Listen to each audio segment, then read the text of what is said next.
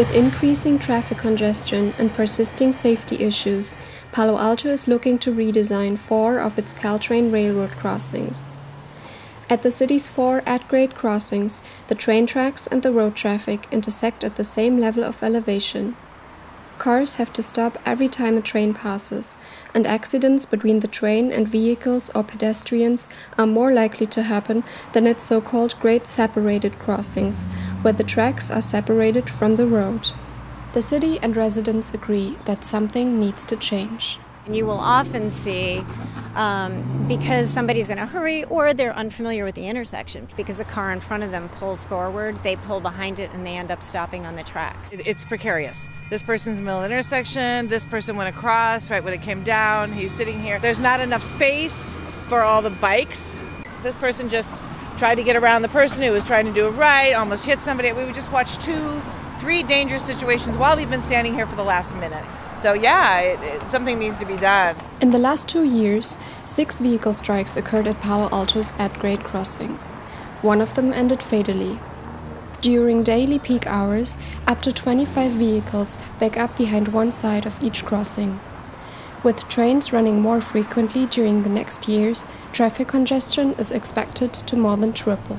Because the train runs um, along the spine of the city, the entire length of the city, it really forms a, a, a barrier to go across the city east west during daytime. I live in Old Palo Alto, and sometimes it's easier for me to get to Sunnyvale as long as I don't pass the, the train tracks than it might be for me to just get to Menlo Park. While the community agrees that the crossings have to be redesigned, there are different options on how to revamp them. The city will host four roundtables this month to discuss different possibilities for each crossing.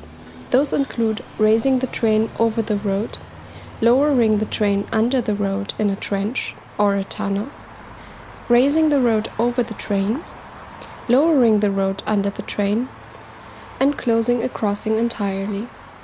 At the moment, the trench is the community's most widely supported option for the two crossings at Charleston Road and Meadow Drive. I think the best thing they can do is to have Cal- Caltrain and any other train run in a cutout and have uh, bridges over the cutout. Um, I think that would smooth uh, traf- traffic over.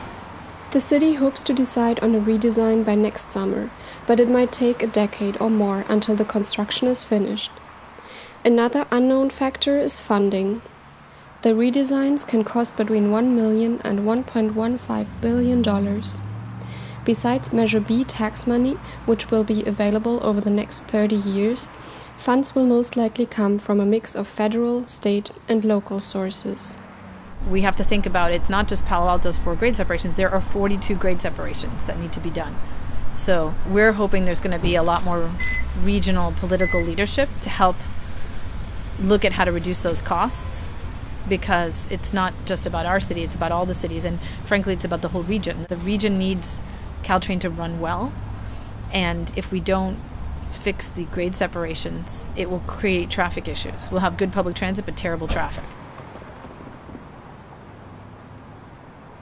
This is Charlotte Kosche for the Peninsula Press, a project of Stanford Journalism.